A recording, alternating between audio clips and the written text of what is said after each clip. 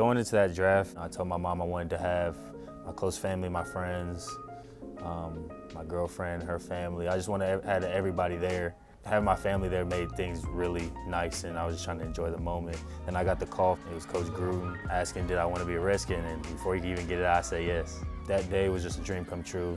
Um, I wanted to do this. It's been my dream job since I was seven years old. I'm coming in to compete for a spot wherever they see me. Um, that's kind of one of the things I feel like is a strength of mine is just I'm always looking to where I can help the team. Yeah, I, am kind, of, into those crime shows right now. I'm, I'm in the middle of watching Dexter.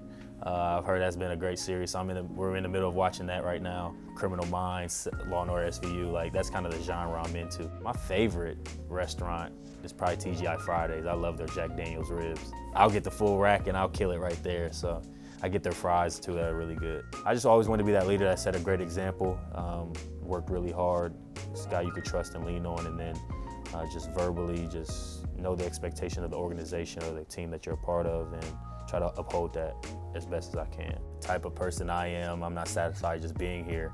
Um, I just can't wait to prove myself, earn the respect of my coaches and my teammates, you know, show them um, you know, the good things of why they drafted me. I just can't wait to get started.